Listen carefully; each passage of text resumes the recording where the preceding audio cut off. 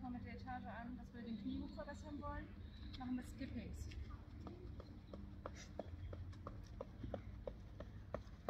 Die Hebelauf heißt es, Skippings, ist egal.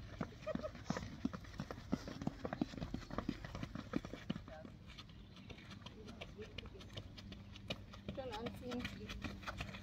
Ein bisschen Popo berühren. Schön gerade mit dem Oberkörper.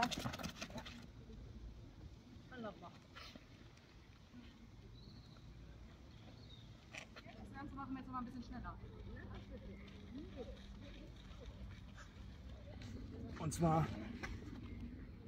Arme seitlich raus, Oberkörper auch wieder leicht angehoben und dann Schultern hoch, Ellbogen so weit wie es geht zusammen.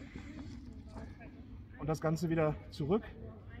Erst die Schultern, äh, erst die Arme wieder nach vorne, Schultern runter.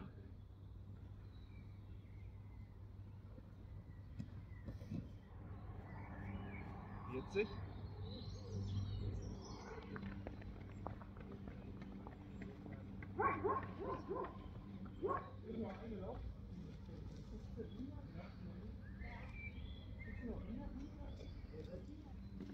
Aber die Brücke. Auch wieder also 12 bis 15 Mal. Nicht zu schnell. Am besten wenn er kann, bis zu 10 Mal. Der so hoch, der so runter.